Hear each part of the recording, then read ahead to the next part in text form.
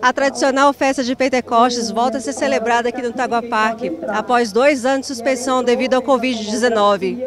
Ao longo desses três dias, mais de um milhão de fiéis esteve reunido, celebrando a maior festa de Pentecostes a céu aberto. Os cantores do evento cantaram e levaram a multidão a clamar o Espírito Santo.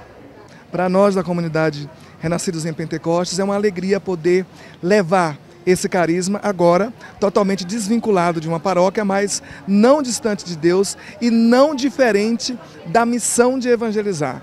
Nós vivemos nesse carisma, evangelizar de todas as formas e todos os meios possíveis. E hoje, como renascido em Pentecostes, como comunidade, eu tenho uma imensa alegria de poder levar Jesus até você, a sua casa, a sua família, ao seu trabalho, levar esse carisma que tanto tem arrastado multidões. Então a gente está com muita alegria no coração, essa força do Espírito Santo de Deus. Foram dois anos sem Pentecostes no Tagua Parque, né? sem estar com o povo, porque o povo de Deus é a igreja, é essa força, né? eles são esse nosso feedback, eles é a resposta de Deus para esse impulsionar. Nossa comunidade vive essa experiência internamente, é claro, mas passar isso para o povo, testemunhar a alegria que é a Semana de Pentecostes é maravilhoso. Ver o rosto do povo aqui cantando, adorando, louvando o Senhor, né, amor? É verdade. Uma, uma verdadeira realidade desse carisma, como o padre sempre insiste, fazer renascer. Nós estamos vendo um milagre nesse Tagua Park, porque, como a Cris falou, depois de dois anos, e como o padre tem falado, depois de dois anos de tantas trevas, o Espírito Santo fez renascer uma multidão renovada no Espírito Santo. Para mim, isso é um milagre. É um grande milagre de Pentecostes. Um evento como este não acontece sem a oração.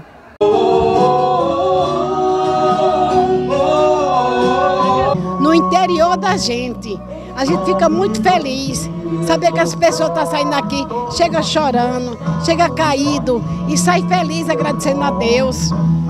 E outra coisa, o milagre dessas velas é a gente ajudar a cada um que está necessitado, sofrendo, chorando, desempregado. Tem muita gente que está em sofrimento.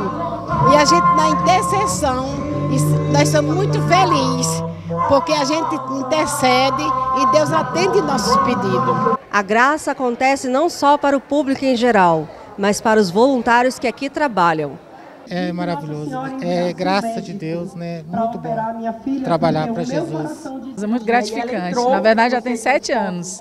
Né? Eu servi primeiro ano, aí na sequência eu casei, meu marido já vinha servindo, então ele só me incentivou mais. É muito gratificante. E é o mais interessante é porque você paga para trabalhar e você está aqui para servir.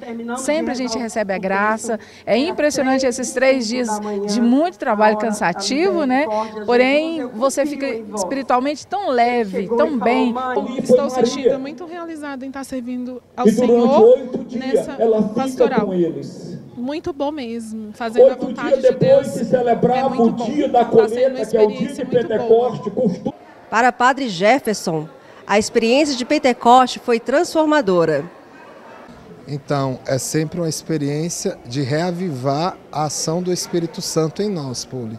É, nós sabemos que dentro das lutas que tivemos nesses dois últimos anos, foi um período, às vezes até mesmo de grande esfriamento. Então, ver toda essa mobilização em torno de Cristo, em torno do Divino Espírito Santo, nos motiva a viver a vocação sacerdotal, nos motiva a estar na vida de entrega pelo povo, nos motiva a viver a unidade da igreja. Então, eu costumo dizer e acredito muito nisso foi um momento de reavivamento da unidade da nossa igreja nesse tempo, onde a gente viu assim claramente a manifestação da glória e do poder de Deus. Podemos recomeçar com Deus. Né?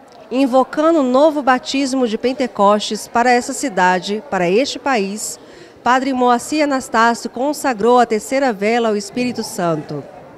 Superando as expectativas, o fundador da comunidade conta como ficou surpreso com o público. acredito que é um recomeçar, é um ressuscitar depois de dois anos sem estar aqui no Tagua Parque. O Senhor nos deu a graça de voltar para o Tagua Parque com essas pessoas.